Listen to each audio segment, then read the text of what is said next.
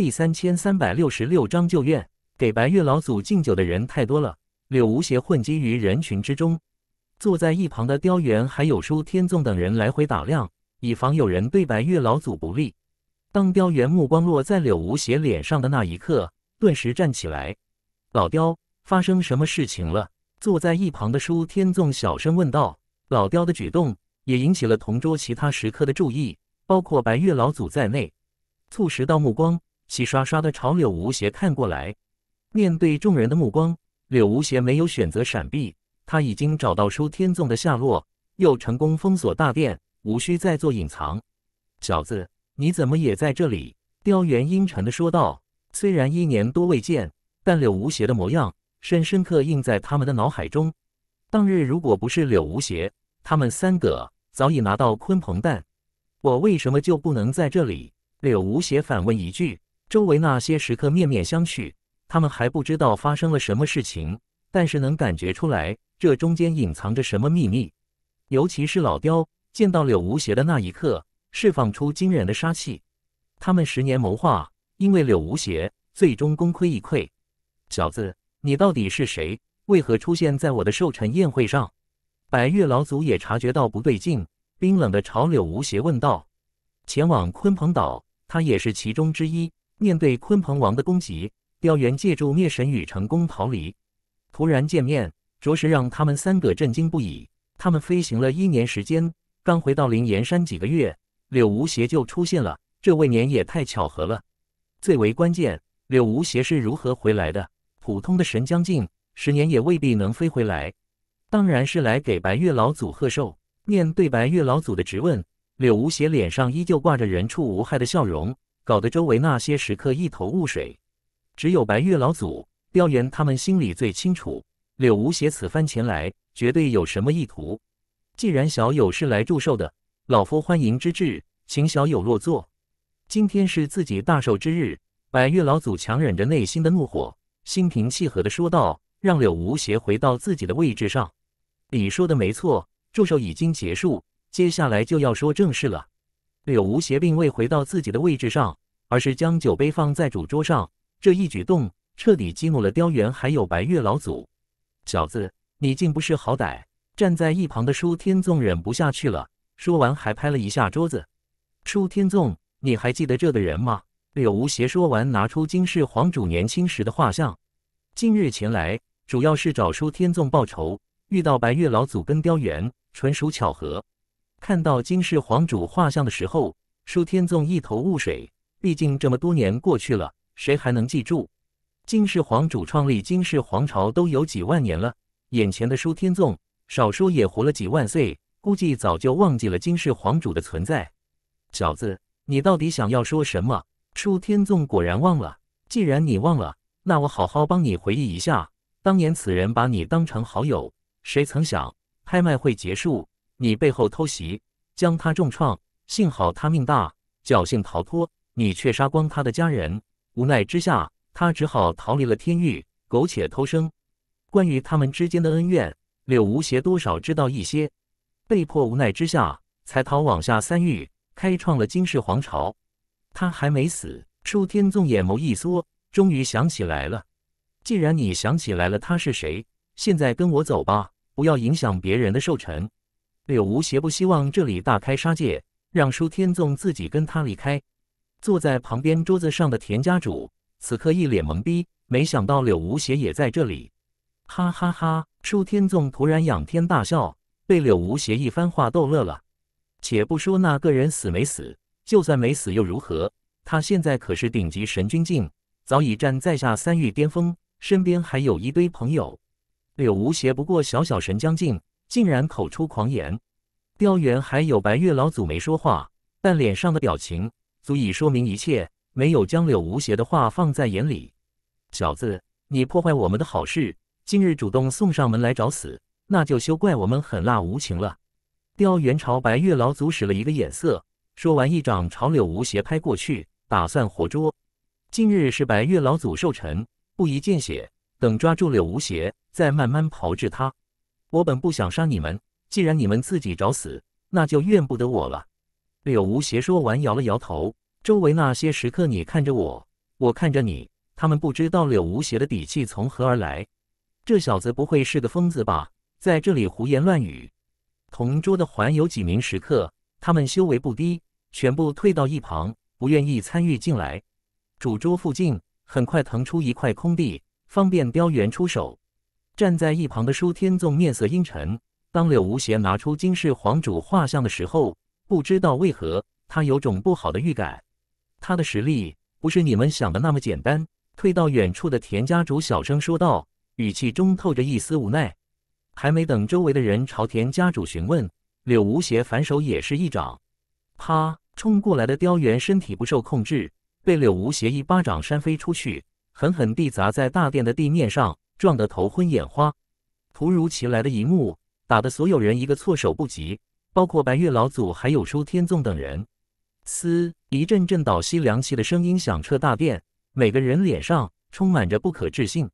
好快的速度！雕猿竟然没有避开，他们只看到雕猿被掀飞，却没有看清柳无邪是如何出手的。估计是雕猿大意了，才被这小子偷袭。聚集在大殿周围那些食客还是无法接受，堂堂顶级神君境，居然被神将境掀飞。田家主，你刚才说这小子不是表面上看起来那么简单，这又是怎么回事？难道你认识他？雕猿飞出去后。站在田家主身边，这些食客连忙出言问道，连远处一些修士都投过来好奇的眼神。田无风就是被他一招控制。田家主嘴角苦涩，什么？这个消息让周围那些人如遭雷击。田无风虽然不是顶级神君境，在灵岩山也是鼎鼎大名，能一招将他控制，此人修为最少也是半步灵神境。唰，柯童还有舒天纵同时抽出兵器。左右夹击，将柳无邪困在中间。白月老祖站在柳无邪前方，舒天纵站在右侧，柯童站在左侧。柳无邪身后是大殿，倒也不担心他会逃走。小子，我不管你是谁，今日在我寿宴上伤人，休想活着离开了。白月老祖浑身鼓荡，恐怖的气息喷涌而出。这里是白月山，他的地盘，就算是那些超一流宗门，也不敢轻易踏足此地。除非是灵神境，我要带他走，谁敢阻拦，杀无赦！柳无邪不愿意跟他们废话下去，说完指向右侧的舒天纵。这个时候，雕猿从地面上站起来，他的左边脸颊不知道什么时候多了一道猩红的掌印。来人，将他给我拿下！大殿中还有不少白月山高手。白月老祖一声厉喝，几十名高手从暗中冲出来。一部分是白月老祖培养出来的高手，一部分是他这些年招募的强者。冲出来的这些人将柳无邪团团围住，无情的杀意肆意的弥漫。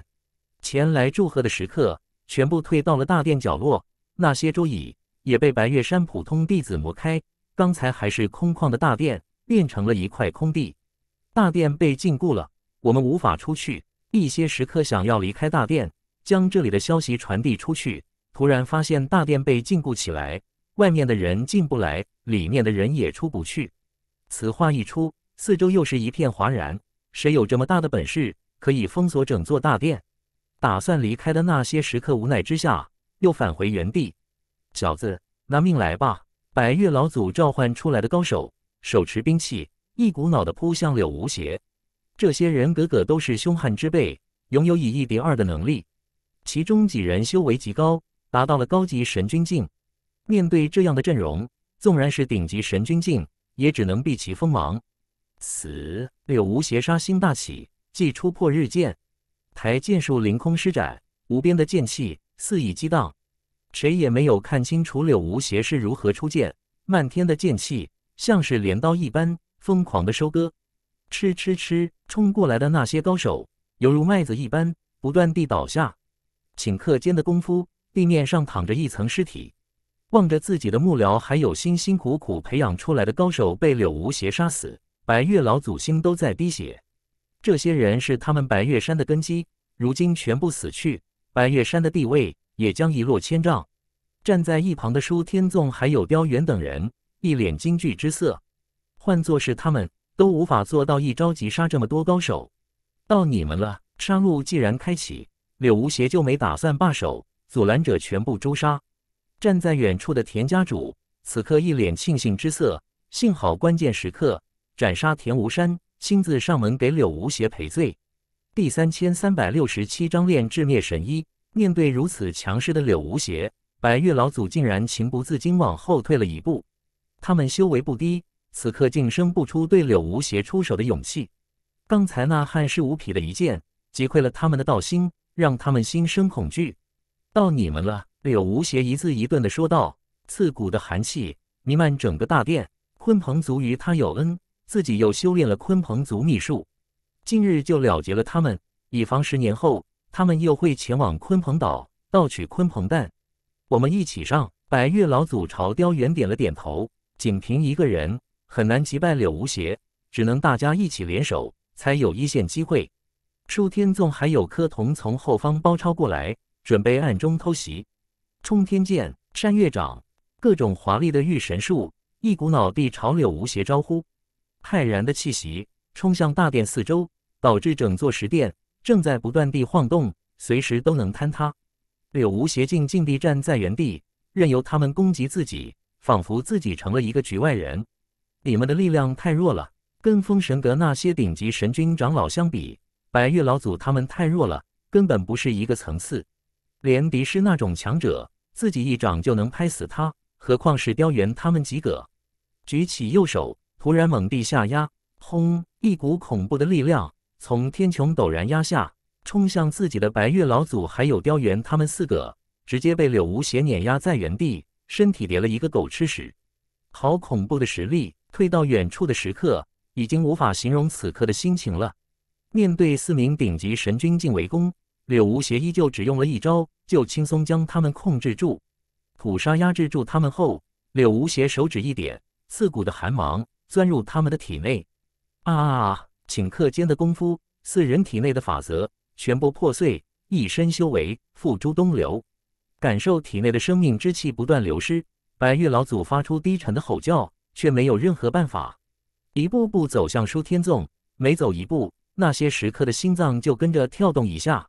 站在舒天纵面前的那一刻，舒天纵突然坐起来，发出凄厉的惨笑声。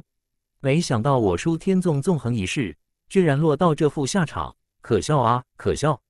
修为尽废，就算今日柳无邪不杀他，也很难走出这座大殿了。吃破日剑斩下，舒天纵的头颅叽里咕噜地滚到了大殿边缘。一代枭雄终于消亡，金世皇主，你的遗愿我已经帮你完成。柳无邪喃喃说道。奇妙的一幕出现了，第一元神顿时一清。让柳无邪浑身舒泰，答应了金世皇主，意味着命运上了一道枷锁。如果不能完成，这道枷锁会一直束缚着他。他是柳无邪。人群突然传来一声惊呼：“灵岩山地处偏远，下三域消息很难传到这边来。最近下三域发生了许多大事情，比如封神阁陨落、黑龙门覆灭，每一件事情足以轰动天下。就在几日前。”柳无邪覆灭封神阁的消息传到了灵岩山，只不过知道的人极少。收到消息的人只知道柳无邪这个人，却不知道柳无邪长什么样子。柳无邪刚才说话的语气，还有展露出来的手段，跟传回来的消息几乎一模一样，这才确定眼前的年轻男子正是柳无邪。谁是柳无邪？周围那些食客纷纷探出脖子，朝刚才开口说话的修士问道。被问到的修士不敢隐瞒，江夏三域最近一段时间发生的事情一五一十道出。封神阁覆灭了，还没等这名修士说完，四周传来阵阵嗡鸣声。灵岩山虽然偏远，但封神阁的地位，他们却比谁都清楚。那可是下三域第一大宗门，居然一天时间就被人从下三域抹除，而覆灭封神阁的那个人，此刻就站在他们面前，他们如何不惊，如何不惧？对于四周的议论，柳无邪充耳不闻，走到雕猿面前。当年他们三个能从鲲鹏岛离开，全靠雕猿拿出来一枚灭神羽。柳无邪至今记忆犹新，灭神族已经灭绝，世间遗留下来的灭神羽极为罕见。雕猿也是机缘巧合之下才获得一枚，伸手一招，雕猿的储物戒指落入柳无邪掌心，强行抹除雕猿的印记，后者喷出一口鲜血。随后倒地不起，神士进入其中，一番寻找，果然找到一枚完整的灭神羽。